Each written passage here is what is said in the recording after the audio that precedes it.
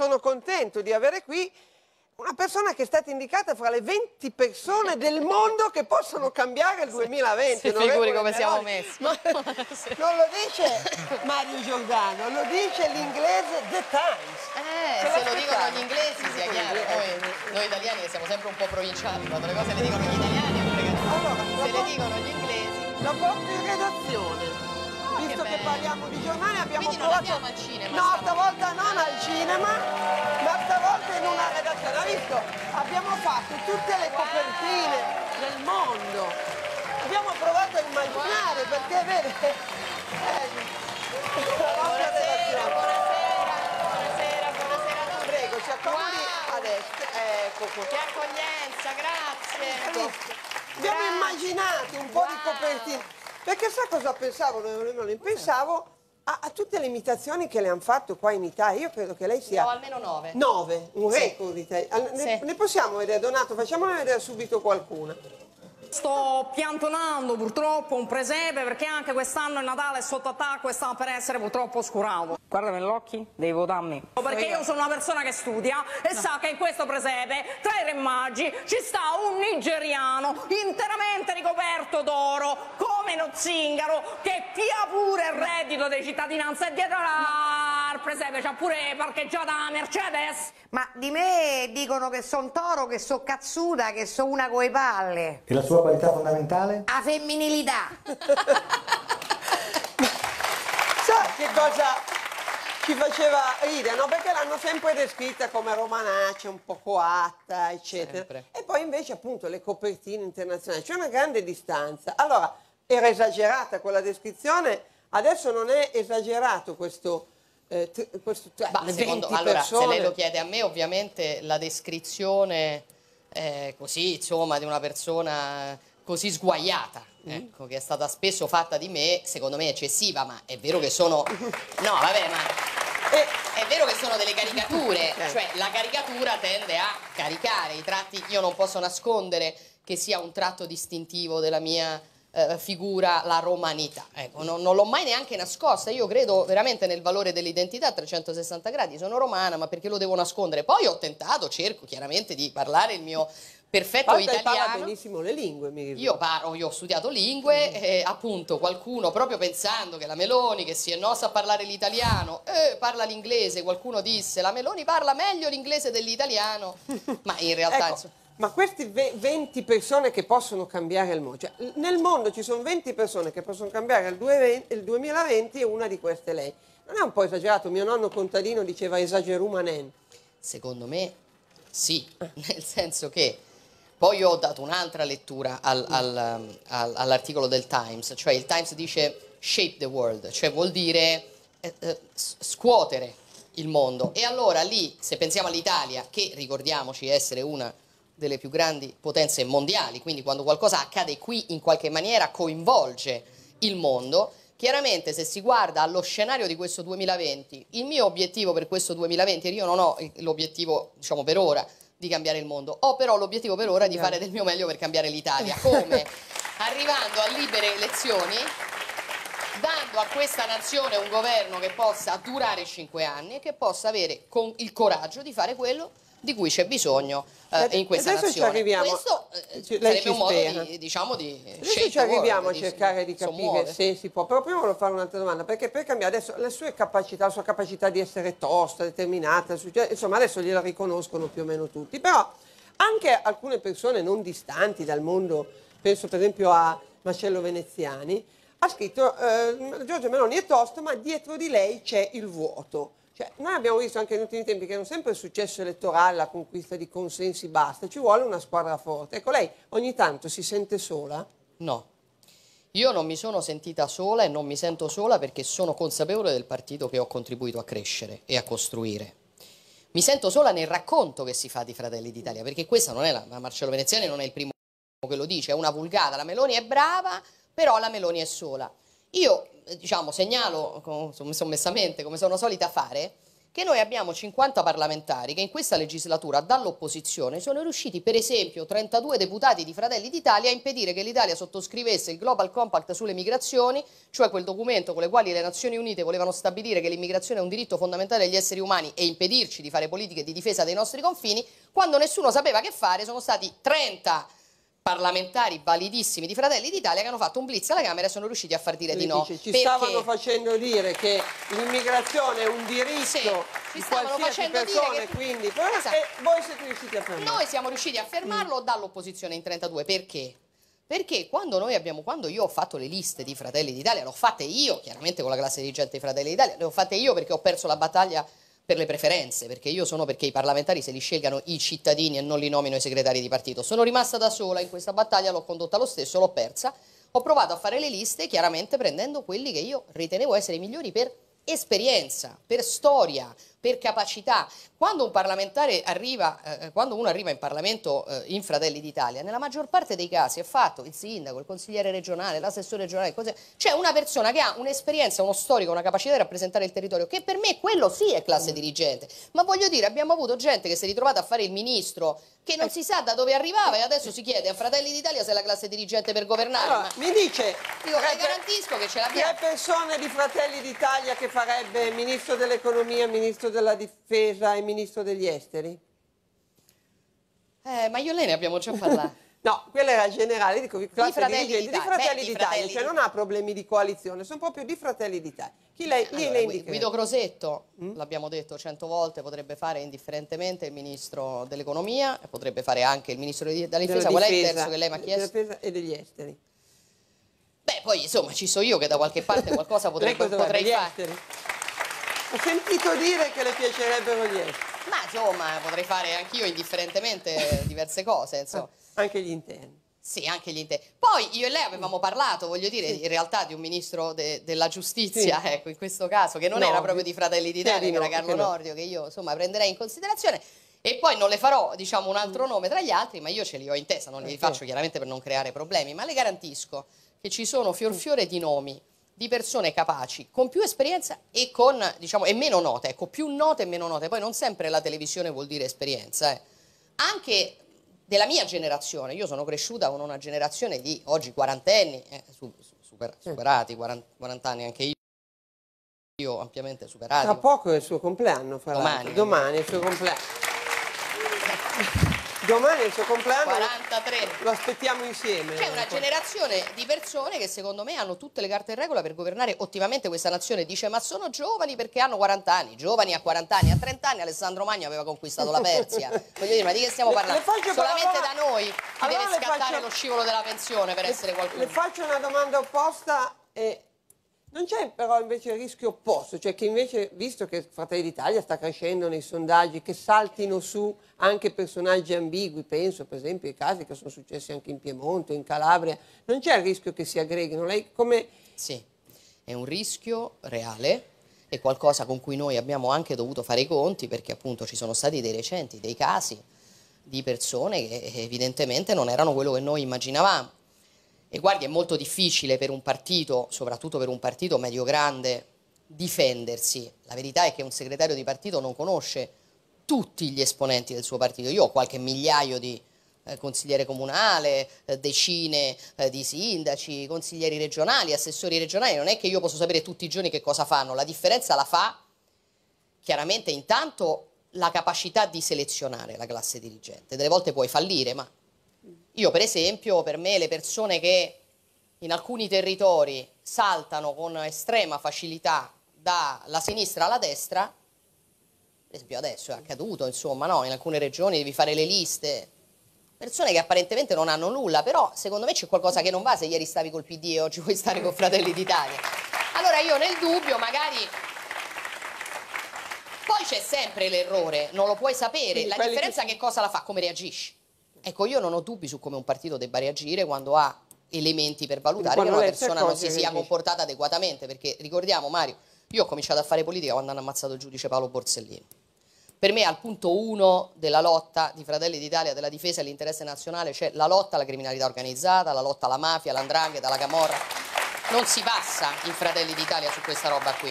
Per cui io sono estremamente rigida, però non rinuncio ad avere come Fratelli d'Italia come un partito inclusivo, non è detto che se non sei cresciuto col pedigree della destra in fronte della gioventù non puoi essere comunque un, un, politico valido, noi abbiamo aperto i nostri confini e io ho trovato anche un sacco di gente validissima che veniva da altre eh, storie politiche del centrodestra. Vi faccio vedere questa clip di Gad Lerner, Gad Lerner. wow. Il mio benzinaio ieri mattina mi ha detto per fare politica in Italia e avere successo bisogna parlare male degli extracomunitari e parlare bene degli animali. Salvini e Meloni, perfetto. E parla bene degli animali e parla male degli, degli, immigrati, cioè sfrutta gli Ma immigrati. Ma questo raffinato ragionamento non ho capito, era di Lerner o del benzinaio? Eh, Lerner l'ha fatto suo, perché adesso disprezza cioè, il benzinaio, no, no, mi no, disprezza no, il benzinaio. No, no, no, non ha capito non la domanda, intendevo non, non, il, non il ragionamento sul fatto di dire che bisogna parlare male degli immigrati, ma sul fatto che noi eh, facciamo questo, cioè questa era un'aggiunta di Gad Lerner o era la riflessione del benzinaio? Questa è una domanda seria no, che faccio, so, nel senso che non disprezzerei se il benzinaio. benzinaio, ecco. non ho niente da dire, perché il popolo, Vox Popoli, Vox Dei, come si dice, io non ho niente da dire. Se è il ragionamento di Gad Lerner, beh, da Gad Lerner mi aspetto che lega qualcosa, mm. se vuole fare l'opinionista. Quindi lei non pensa di allora, sfruttare l'immigrazione per creare consenso? Guardi, io... A rischio di creare ondate di razzismo. Questa è l'accusa poi sì, che fa lei. Io la conosco l'accusa e continuo a rispedirla al mittente.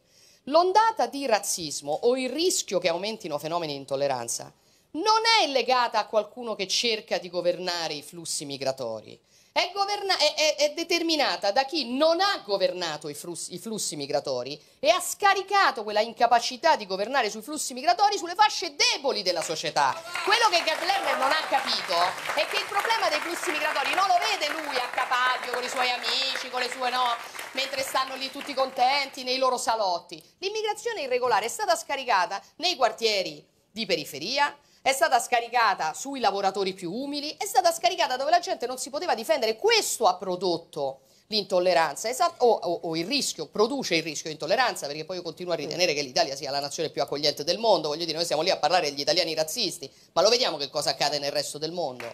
Ragazzi, nei civilissimi Stati Uniti, nella civilissima Gran Bretagna, se tu vuoi andare a lavorare in queste nazioni da straniero, si deve prima dimostrare per quello che ti sta assumendo che non c'è un inglese che lo sappia fare meglio di, meglio di te. Cioè, capito come gli altri difendono la loro cultura, la loro identità. Noi siamo il popolo più accogliente del mondo. Ciò non toglie che i flussi migratori vanno governati e io non rinuncerò mai a dire che il modo con cui la sinistra l'ha fatto in questi anni è un modo cretino di affrontare i flussi. Cretino. Sì, cretino. Perché noi non ci siamo occupati dei profughi, dei quali diciamo c'è gente che continua a, eh, eh, a, vivere in territori di guerra che non arriverà mai da noi, della quale noi non conosceremo niente e abbiamo utilizzato il tema dei profughi per far arrivare qui centinaia di migliaia di immigrati eh, eh irregolari di migranti economici che servivano ai grandi potentati per rivedere a ribasso i diritti dei lavoratori, per mettere manovalanza, manodopera a basso costo. Non c'è niente di solidale in questo. Il gioco del grande capitale è fatto anche contro Quindi gli immigrati. c'è stato un disegno. C'è stato un disegno. C'è un disegno. Un certo disegno. che c'è un disegno, Mario.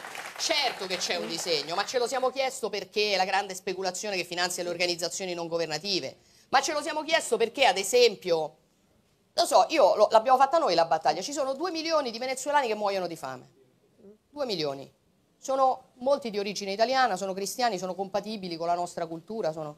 Lei vengono, ha mai sentito qualcuno di questi che parlano dell'immigrazione a tutti i costi dire occupiamoci anche dei venezuelani? No. Perché? Perché un'immigrazione compatibile con la nostra non è funzionale a questo disegno. Servono, serve tutt'altro lavoro e tutt'altra immigrazione. Io non rinuncio a dire le cose come le penso e a cercare delle soluzioni e guardi, a occhio, sono anche le soluzioni più presentabili, perché quando leggo, leggo che adesso che c'è la guerra in Libia, l'Unione Europea parla di un blocco navale a largo delle coste della Libia per fermare le armi, mi si drizzano le antenne, perché io di blocco navale parlo da tre anni e mi deridono tutti in Italia. Valeria, mi porti, dov'è? E mi faccia dire un'ultimissima cosa.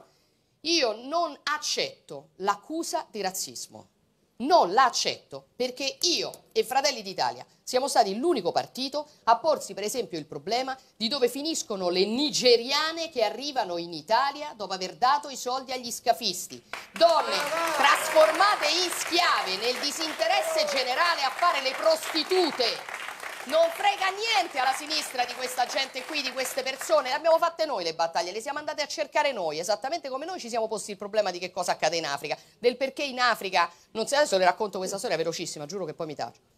Eravamo a... ci tace, siamo no, no, vabbè, sentire, certo, parliamo di altro, intendo, nel senso che le faccio fare ovviamente tutte le domande che vuole, ma le racconto questa cosa velocissima.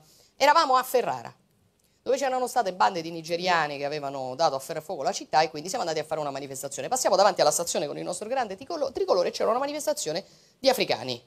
E la stampa subito a dire, vedete, gli africani si sentono minacciati da voi, voi siete dei razzisti. Passiamo davanti alla manifestazione e gli africani mi chiamano.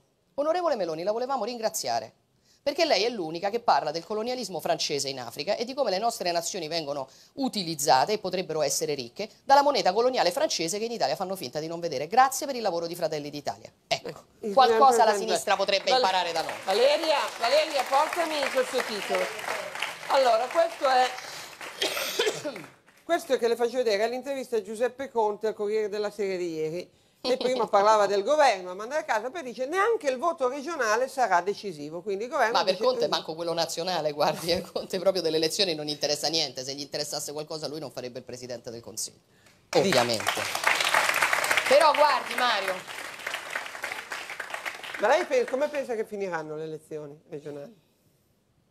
io sono troppo scaramantica per rispondere a questa domanda, sono ottimista, sia sul voto in Calabria, sia sul voto in Emilia Romagna. E se, Sono- si e se il centrodestra vincesse in Calabria che in Emilia Romagna, secondo lei è automatico che si vada alle elezioni?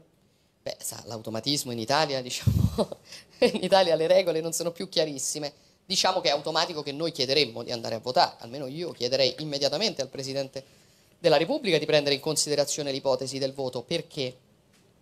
Perché a differenza di quello che, che- che- che si dice, io ricordo dai testi di diritto costituzionale, il Presidente della Repubblica non è un notaio. Cioè il Presidente della Repubblica non è che deve semplicemente no, mettere un timbro su qualunque maggioranza possibile che esista in Parlamento. Dicono diversi testi di diritto costituzionale che io diciamo, ho letto e sui quali ho studiato che l'istituto dello scioglimento anticipato ca- delle Camere è proprio lo strumento che ha il Presidente della Repubblica quando c'è troppa distanza tra quello che vuole la gente e quello che accade nel palazzo. Se il centrodestra vincesse anche in una regione come l'Emilia Romagna, che è la cassa, la roccaforte, la storia del- della che sinistra. il segnale sarebbe Il talmente segnale evidente sarebbe talmente evidente che io che non so, intanto non so come questi signori potrebbero rimanere, diciamo, abbarbicati alla poltrona, ma ormai non mi stupisce, diciamo, non mi stupisco. Però credo davvero che anche il Presidente della Repubblica a quel punto potrebbe prendere in considerazione l'ipotesi di, diciamo, di eh, Potrebbe ragionare. o dovrebbe? Secondo me dovrebbe, ma lo dico in punta di piedi, perché io non ho la pretesa di insegnare al Presidente della Repubblica quello che dovrebbe fare. Diciamo che è quello che io gli chiederò in punta di piedi, è quello che io gli chiederò di fare.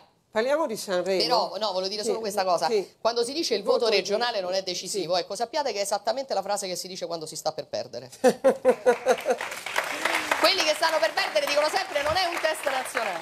Quindi è un buon, è un buon eh, Parliamo di Sanremo. mi rende ottimista, sì. L'altra sera mi ha citato, me la faccio sentire. Sì, e lei mi La- vuole querelare. La clip, No. eh, c'ho una mezza idea. La La- faccio semplice. Se durante un governo di centrodestra noi avessimo dato 30.000 euro, non lo so, a che- chi vogliamo, Mario Giordano, per fare 10 minuti di monologo al Festival di Sanremo, cioè in un contenitore non politico, lei sa cosa sarebbe accaduto in Italia? Arrivavano i caschi blu dell'ONU. A parte è che, voglio dire, io a Sanremo con la mia voce farei un figurone, ma detto Vogliamo andare insieme? No, ma Di Giordano Meloni. Giordano Meloni. Vi- Viva l'Italia! però mi ha paragonato a Rula Gebral, di cui lei non ha una grandissima opinione. Questo un po' mi preoccupa perché io ho beccato una cosa che lei diceva in uno scontro che ha avuto con Rula Gebral. Sentiamolo. Secondo lei ci sono 60 milioni di cittadini americani che vogliono la segregazione razziale? Non ho detto questo. Infatti, Per un'altra domanda, ci sono 60 Non può- milioni di cittadini statunitensi, il 50% però non posso rispondere alle statunitensi domande come vuole lei. votato- Faccio un ragionamento perché faccio Eh no, l'analista. però è una domanda non faccio facile. propaganda. Secondo lei sì o no? Vogliono la No, segregazione ma io non, razziale? non è come ho detto. Sentiamo. Non La- la, la la prego, percentuale è molto una semplice. che la- la prego di non maggior parte delle persone che, la hanno, persona seria. che sono. Buoni, prego di non rivolgere. Allora, mi rendo conto che è dura guardare una donna di colore come me, che è immigrata, che è diventata italiana, ancora più difficile. Quello, di quello mi rendo conto perfettamente. Dicendo questo torniamo alle cose serie. Questo è pa... Cioè lei ha finito dicendo questo è pa... Adesso mi ha paragonato a Rula Gebrani. Allora, si sa che io diciamo non ho una grandissima eh, stima eh, di Rula Gebreal come opinionista, come giornalista, nel senso io trovo, e e questo era oggetto anche di questo dibattito, che le sue, lo dico con rispetto, ma insomma che le sue letture del mondo siano sempre molto superficiali per una persona che fa quel tipo di lavoro.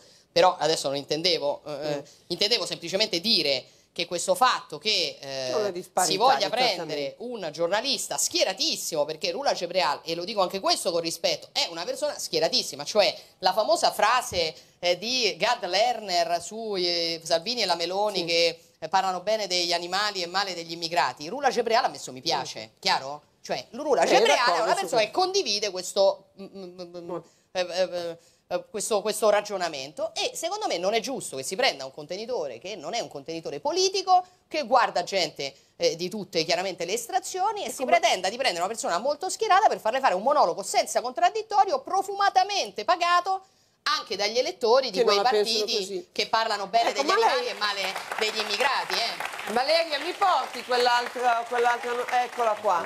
Però io ho letto stamattina su un giornale un titolo così, che lei adesso il RAI comanda lei. ma quando mai? E, e Sì, ho letto anche io queste curiose ricostruzioni, ma eh, diciamo magari vediamo, vediamo, Magari, direi. vediamo nei prossimi mesi. Tutti se- dicono no, io posso una RAI se- libera dai partiti, lei invece dice... No, guardi, allora la RAI libera dai partiti non è stata mai.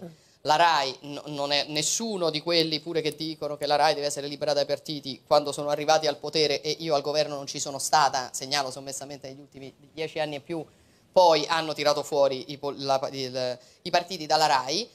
Eh, vediamo nei prossimi mesi se miglioreranno i dati sulla, pre- sulla presenza di Fratelli d'Italia, che segnalo essere abbastanza sottostimata, sia nei TG sia nei talk, nei, nei- nei tutti i programmi di inter- di- di, diciamo, politici della RAI. Eh, per carità, eh, Ma Sanremo chi vorrebbe? a chi vorrei Chi vorrebbe a posto di chi- Gebral? Ma io non vorrei, non vorrei un giornalista, ecco, neanche lei, nel senso, non credo che Sanremo debba essere un contenitore politico, penso che Sanremo debba essere il festival della canzone italiana. E questo fatto di usarlo ogni volta per metterci il monologhetto, la frasetta, la cosetta, sempre contro il centrodestra, poi storicamente siamo sempre noi quelli che devono essere il bersaglio del Festival di Sanremo, io lo trovo stucchevole. Cioè, è il Festival della canzone italiana. Chi ci vorresti al Festival della canzone italiana? Non lo so, vorrei... Bah, no, adesso... Albano. Al- Albano anche, insomma, già. Mi dai Donato la clip su Salvini? Ecco, Magari sono parole scomode, magari bisogna fare dei discorsi di capodanno eh, più melliflui, più incolori, più indolori, più insapori. Dritti ragazzi, o facciamo in fretta o questo paese si spegne. Questo era Salvini che commentava il discorso di Mattarella prendendone le distanze, definendolo un po', lasciando capire che lo definiva un po' mellifluo. Lei invece l'ha elogiato il discorso di Mattarella di fine anno. Così anche subito dopo su Trump, dopo che c'è stata l'azione in Iran, ehm, Salvini ha approvato subito in modo abbastanza entusiasta, lei invece ha, ha tirato un po' a mano, tanto che le porto l'altro titolo, è stato sottolineato il fatto che ci sia un certo smarcamento. Ecco, lei si sta smarcando da, me- da Salvini? Guardi, le posso dire, Giordano, che questo modo di leggere la politica nei miei confronti... No, adesso non, vorrei- non voglio dire una cosa... È maschilista. È un po', sì, Sì. è un po' misogino. Cioè, come se il ruolo mio dovesse essere sempre quello di stare lì a fare la spalla di un altro. Io sono segretario di un partito politico. Il mio partito politico, il partito politico che io ho l'onore di guidare, ha una sua identità. Non è la sovrapposizione dell'identità di un altro. Io ho sempre detto quello che pensavo e non sempre le mie posizioni sono sovrapponibili con quelle di Matteo Salvini, altrimenti mi sarei iscritta al partito di Certo, Matteo però Salvini. fa un po' effetto che due leader, No, due fa effetto crescita, oggi. tutti e due forti, Allora, fa effetto oggi, poi po' adesso entriamo nel merito. Fa effetto oggi, ma io ho sempre detto quello che pensavo e non sempre le mie posizioni o le mie scelte o quello che ha fatto Fratelli d'Italia è stato identico a quello che faceva o diceva la Lega e Matteo Salvini. addirittura uno è entrato Qual al governo e l'altro no, Oh, quello no, Per però- esempio, ma facciamo parte di due diverse famiglie a livello europeo, cioè abbiamo fatto tante scelte compatibili ma diverse. Siamo alleati politici, non siamo la stessa cosa, viva Dio, altrimenti faremmo un partito unico. Solo che... Però lei sta dando questo... l'idea di un po' più di, moder di moderazione no, guardi, su alcuni non temi. Non è moderazione, adesso entriamo nel merito, ma su alcune cose non sono d'accordo che si possa trattare di moderazione, adesso le entro nel merito di tutti e tre i temi che abbiamo citato. Semplicemente prima Fratelli d'Italia era il 4%, la Lega era eh, diciamo tra il 20 e il 30% e quindi la posizione di Fratelli d'Italia era meno visibile. Oggi Fratelli d'Italia cresce nel consenso, diventa un attore più importante e, e si nota di più quello che diciamo noi o si sottolinea di più, però allora, sul discorso no, di Mattarella, no, atteso entrare, che... No, no, no, però le dico una, un, fatto di metodo, un fatto di metodo, no, un fatto di metodo. Lei sa meglio di me da giornalista che il 31 di dicembre, siccome anche i giornalisti e tutti quanti vogliono poter eh, diciamo, stare a cena con le proprie famiglie, il discorso del Presidente della Repubblica comincia a girare sì, prima. Prima. no, si manda un po', se i giornali lo hanno così possono preparare i pezzi ovviamente e arriva anche a noi, quindi quando io ho... Eh, diciamo, i giornali non escono telegiornali, via. Il, il, il, te, il telegiornali, chiedo scusa, sì. Eh, no, il primo non escono, primo, il 31, il esatto, sì, chiedo scusa. I telegiornali cominciano sì. a lavorare e quindi quando io ho, ho, commentato il discorso di Mattarella non è che avevo letto quello che aveva detto Salvini. Salvini tra l'altro è intervenuto dopo Mattarella. Semplicemente No, no, a me pareva capito. un discorso nel Vol quale il Presidente della Repubblica me... aveva, diciamo, evitato tutti no, i temi divisivi. È legittimo. Detto, io, beh, vo io volevo solo tentare sul punto di quali sono i vostri reali rapporti. Noi i nostri reali rapporti sono buoni, delle Tensioni. volte condividiamo le cose, delle volte le condividiamo di meno, delle volte facciamo scelte diverse, per esempio sul tema del referendum. Io la capisco mm. la posizione di Salvini. Cioè Salvini alla fine presta le firme della Lega per presentare il referendum confermativo sul taglio del numero dei parlamentari cioè, ritenendo... Stato, c'è sì. stato il taglio del numero dei parlamentari che dovrebbe diventare operativo. Se si chiede il referendum consultivo si rimanda l'entrata in, in, vigore e quindi si rende possibile l'elezione. Allora, secondo alcuni, chiaramente depositando il referendum e avendo fra sei mesi il taglio dei parlamentari, molti partiti che stanno in sofferenza potrebbero ritenere che gli conviene andare a votare prima che si celebri il referendum. Questa è la ragione per la quale Salvini, che pure ha votato il taglio dei parlamentari, alla ah, fine ha scelto di sotto. Io non l'ho fatto Intanto perché a me piace sempre, diciamo, essere... Più, più lineare. Sì, cioè io ho votato quattro volte il taglio dei parlamentari, e la gente non può dice, chiedere il referendum, referendum per chiedere la dice, ma... ma poi perché io ritengo che invece il fatto che ci sia il referendum potrebbe essere utilizzato contro il voto. Cioè, Aspettiamo ieri in una trasmissione televisiva dicevano scusi, ma le pare che andiamo a votare prima che si taglino eh, eh, c'è qualche centinaio di parlamentari e ci troviamo di nuovo il Parlamento eletto con quasi mille rappresentanti e dopo un mese i, i, i, parlamentari vengono tagliati. Allora dobbiamo aspettare. Siccome io sapevo che avrebbero fatto questo gioco, ho detto nel dubbio io, diciamo, taglio i parlamentari subito, anche perché io penso che questi vanno a casa comunque. In ogni caso. Se loro vanno a casa comunque, tanto valeva andare a votare subito con i parlamentari tagliati, così la riforma l'avevamo fatta e avevamo un Parlamento con meno. Le faccio vedere ancora questa clip, mi fate vedere Peppone?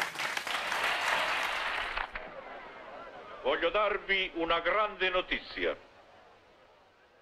Tra qualche giorno cominceremo la costruzione della Casa del Popolo, che conterrà una biblioteca con bei libri, una sala per il ballo, il cinema e altre manifestazioni culturali, la quale sarà la vostra casa, la Casa del Popolo.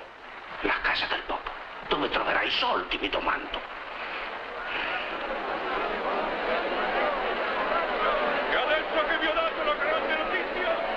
Ecco, allora eh, Valeria, se mi porti l'altro contributo. Eh, l'altro giorno a Brescello Salvini ha detto Peppone oggi voterebbe eh. Lega. Peppone voterebbe Lega o Fratelli d'Italia? Eh, o il PD? Potrebbe votare entrambi, il PD la vedo male, ah, la, PD la vedo male, io ne incontro molti, come potrebbe... accade anche a, anche a Salvini, incontro molti esponenti di sinistra storica che mi dicono guardi io ho una grande crisi di identità perché ho votato tutta la, volta, tutta la vita a sinistra e adesso mi sento rappresentato dopo. Io rispondo sempre la crisi di identità non ce l'ha lei, ce l'ha la sinistra italiana. allora, ci fermiamo solo qualche istante. Siamo in una redazione. Lei ha fatto mai la giornalista? Io sono giornalista, professionista. professionista. Quindi sarà bravissima a fare i titoli. al secolo. Quindi tra un po' faremo i titoli oh. di giornale. Oh, faremo la prova dei titoli, restate lì.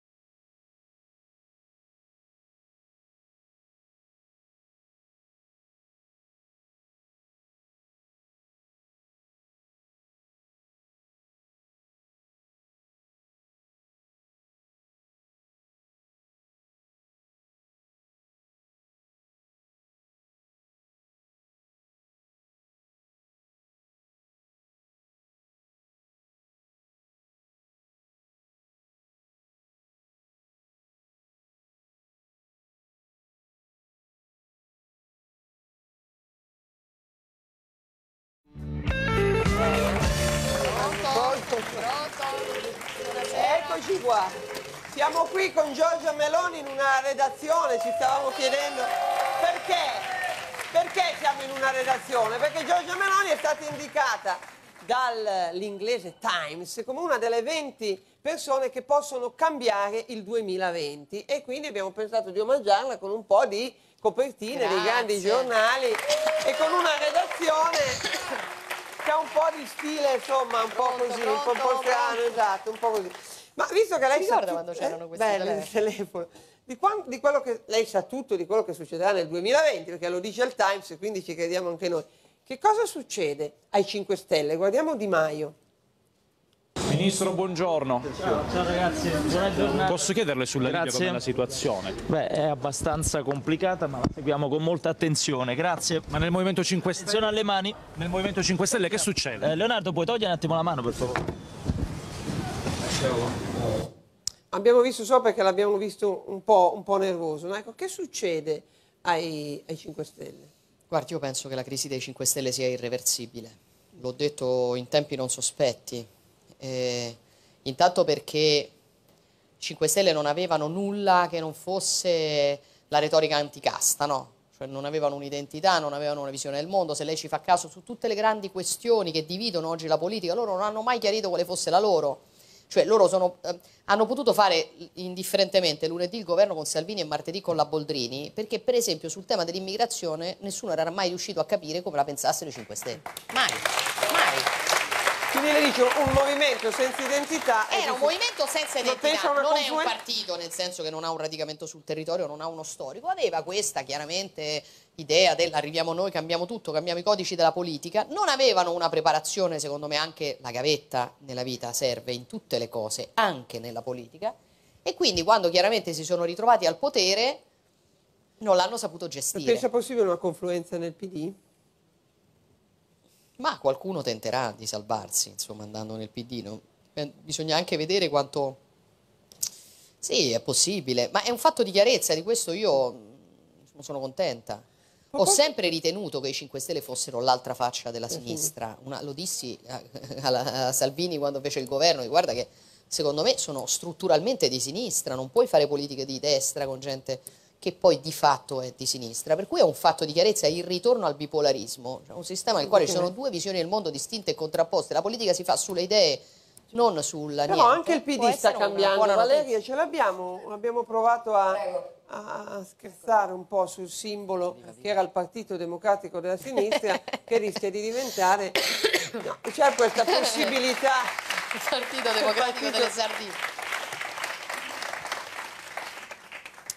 Guardi, allora, eh, sì, ho letto che Zingaretti vuole cambiare tutto, Sì, ma... cambiare nome, un nuovo nome. Sì, ma lui può cambiare adesso poi per carità, anche sempre con rispetto, la politica, io anche gli avversari, capisco, sono movimenti, le differenze interne, ma io credo che ci sia proprio un problema serio di linea politica. Per quella che era la sinistra e che eh, insomma era la forza politica vicina ai più deboli, vicina agli ultimi, vicina ai più fragili e poi io, me- io mi sono ritrovata, non dimenticherò mai che ho fatto la battaglia contro un governo di sinistra per togliere l'indennità d'accompagnamento e la pensione di invalidità dal calcolo dell'ISEE. Cioè questi avevano fatto una riforma per cui se tu prendevi l'indennità d'accompagnamento ti consideravano ricco Ricco.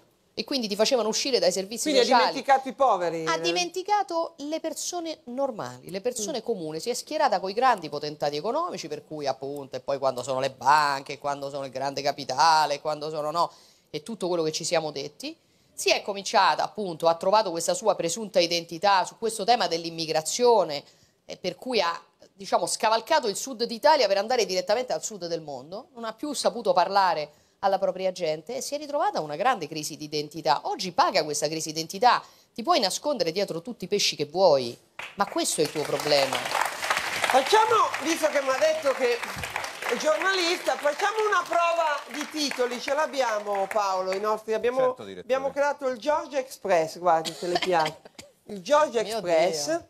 e qua abbiamo due righe di titolo, due righe di titolo, per tre titoli che le chiedo. Il primo è il futuro del centrodestra, la donna che cambierà il 2020, dice il Times, se deve fare un titolo su due righe che stia ragionare sul futuro del centrodestra, così abbiamo già dato il titolo anche alle agenzie che ci stanno seguendo. Il futuro del centrodestra è...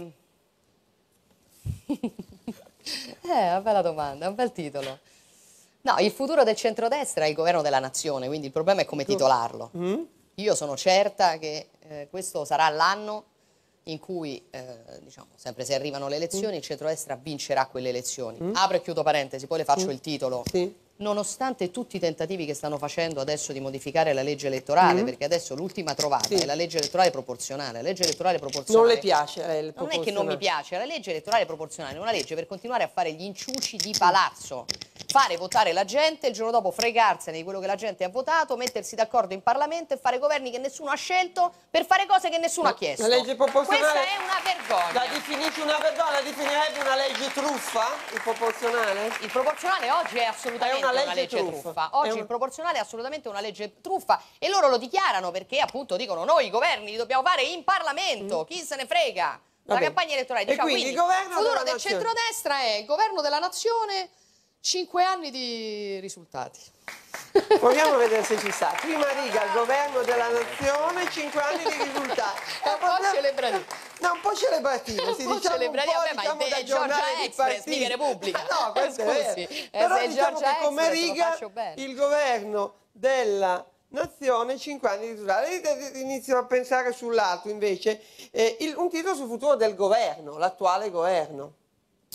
E un titolo sul futuro del governo è Giorni contati per Giuseppi. Allora, tanto giorni contati per... No, quell'altro, Bene. giorni contati per Giuseppe. Questo è un po' più sproporzionato, eh, perché la prima riga è più lunga, la Eh, seconda po'- è più eh, corta. vabbè, poi adesso non ce l'ho Il da governo della nazione 5 anni di risultati, Vai. sì, un po' celebrativo Beh, è- però. vabbè, però non è male, cioè, avete, messo anche la foto. Per Giuseppi, per Giuseppi, questo è il, il titolo. E invece l'ultimo è il più difficile, Ecco. l'ultimo è il più difficile, Eh, facciamo così perché i giornali... No, si esclamativi mai nel titolo, non si, non si usano. No, no, no, punti esclamativi poi io li detesto, non li metto mai da nessuna parte. Questo qua. E l'ultimo invece perché eh, lei è giornalista, adesso è una giornalista a tutto tondo, quindi non solo politica ma anche sulla vita personale, fra l'altro abbiamo visto interviste su chi in questi, in questi giorni, quindi il futuro di- del suo privato, la sua vita privata.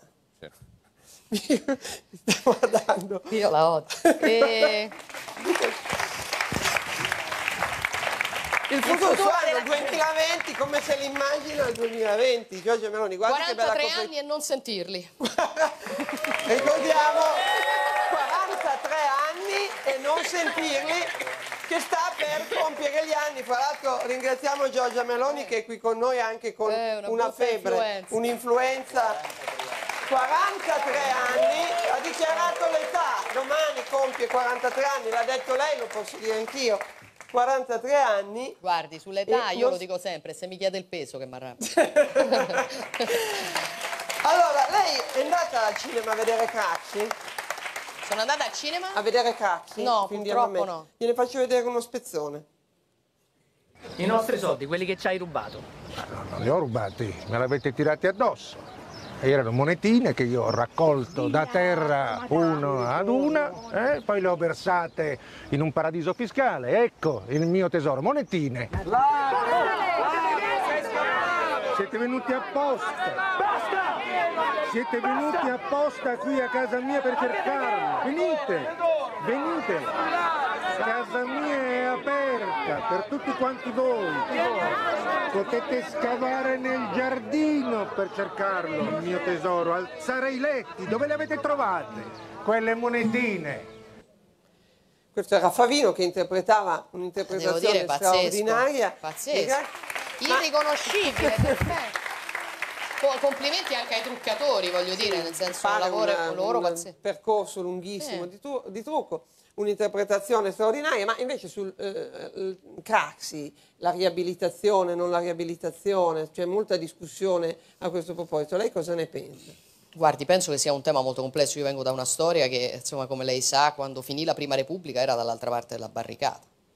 Io ho cominciato a fare politica in quegli anni. Ho cominciato a fare politica durante Tangentopoli, quando eh, insomma, c'era l'idea di questa classe dirigente che aveva no, tradito la nazione, che aveva... Era a San Raffaele a tirare le monetine? No, non ero a Raffaele a tirare le andata? Mm, non, non- non mi capitò, insomma, non- eh, erano proprio quelli probabilmente i giorni nei quali cominciavo a fare politica, adesso sì, 92 credo 92. fosse. Per cui sì, è proprio nel 92 che io ho cominciato a fare politica, quindi io ho sempre visto quella classe dirigente come qualcosa di distante anni luce da me. Oggi ho discreta esperienza alle spalle e delle volte guardo a quella classe politica complessivamente e guardo a quella che c'è oggi e mi dico che con tutti i limiti che quella classe dirigente ha avuto e le responsabilità che ha avuto, perché ne ha avute oggi, se noi ereditiamo per esempio il debito pubblico che abbiamo ereditato, lo dobbiamo anche a quella classe dirigente, beh però c'era uno standing, una preparazione, una profondità di ragionamento che Quindi difficilmente... quelle che rimpiange la statura e la Adesso levatura. rimpiango la, ecco, rimpiango la, statura. prima repubblica? No. Rimpiango una classe dirigente che doveva dimostrare di essere migliore del popolo che aveva la presunzione di rappresentare, che doveva dimostrare di essere un passo avanti? Sì. Cioè io non sono per l'uno vale uno dei 5 Stelle, per me uno non vale uno. Per me tutti valgono nello- ugua- ugualmente nello stesso punto, tutti valgono uno nel punto di partenza, ma dove arrivi dipende da quello che sai dimostrare tu. Faccio vedere un'altra clip di un altro film che ha fatto tanto discutere, ne abbiamo discusso anche qua martedì scorso, che è Cozzalone. Se ben guardate, lì, tra tutte quelle cicogne, c'è una cicogna strabica, un po' lunatica,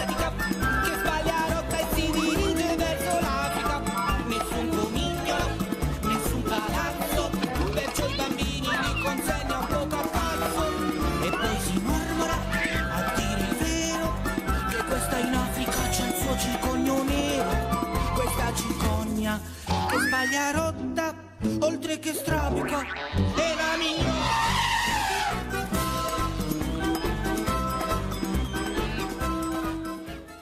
Salviniano, razzista, come è stato detto in un primo momento, o buonista eccessivamente Ci buono? crede che, che non ho visto il film? Non ha visto che cos'è? No, sono colpevole. No, vabbè, dire, non è- non è un obbligo di... Allora, non sono riuscita a vedere il film, quindi non sono in grado di giudicare eh, diciamo, il dibattito che si è creato. Mi fa sorridere, questo devo dire la verità.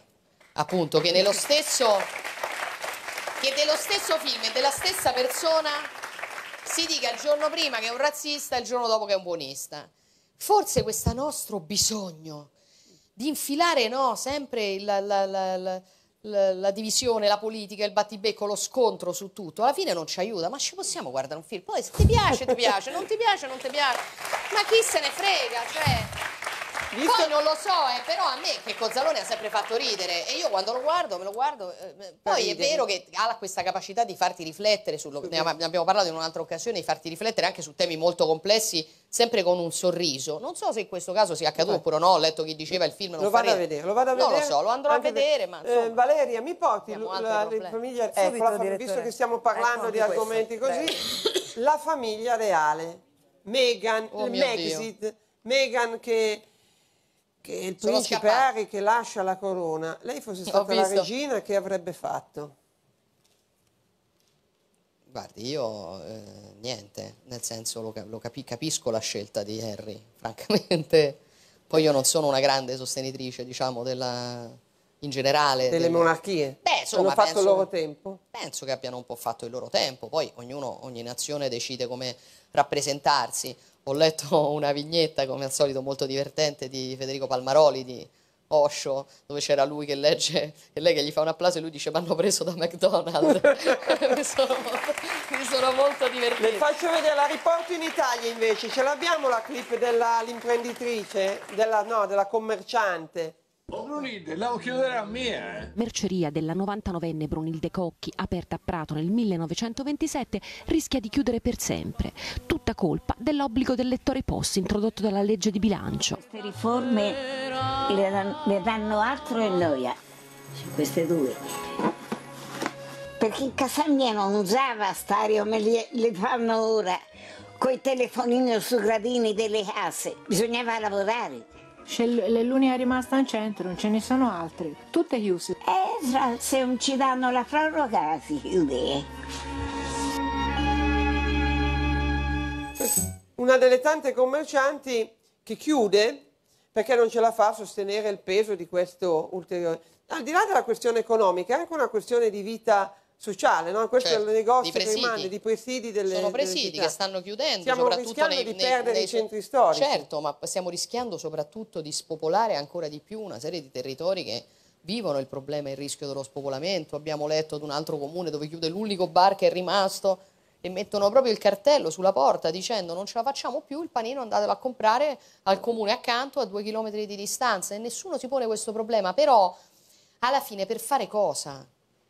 Perché il tema, Mario, è questo. Cioè, ma noi tutti questi balzelli, la fatturazione elettronica, lo scontrino elettronico, l'obbligo di contante, per aiutare chi? Dice per combattere l'evasione fiscale. sì. L'evasione fiscale non sta negli scontrini dei bar. La grande evasione in Italia non sta negli scontrini dei bar. Sta nei grandi- Perché grandi si vuole... internet. No, ma eh, io noi abbiamo fatto una serie grandi, eh, grandi le, le- le- multinazionali che spostano la sede fiscale, le frodi carosello, il tema delle- della, della web tax. Noi avevamo fatto un emendamento, ce l'hanno bocciato. Il tema degli extracomunitari, ne abbiamo parlato, mi pare, sì, anche insieme, sì, ce l'hanno sì. bocciato. Il famoso emendamento con il Sì, quale volevamo che gli extracomunitari che aprono pagassero a cau- una cauzione di 30.000 euro che gli scalavamo dalle tasse, perché tutti sanno che in moltissimi casi non le pagano le tasse, solo a Prato un miliardo di euro di evasione.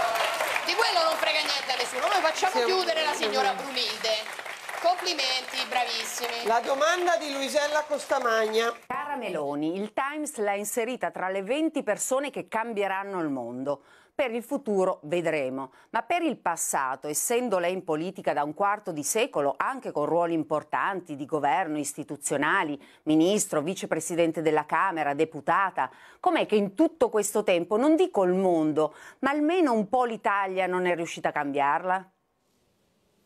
Dice, in politica da Mi vuole un gran bene Luciella Costamagna No, da vabbè, sempre. una no, ma ha detto questo, lo sta. La domanda la capisco. eh, però oggettivamente, Mario, io il massimo che ho fatto nella mia vita, diciamo, in termini di capacità di governo, è stato il ministro alla gioventù senza portafoglio de- dell'allora governo Berlusconi. Ancora oggi incontro, per quello che potevo fare da ministro della gioventù senza portafoglio, gente che mi dice sa che ancora noi abbiamo trovato lavoro grazie a quell'iniziativa del Ministero della Gioventù, eccetera. Però è stato il massimo con cui mi sono potuta misurare.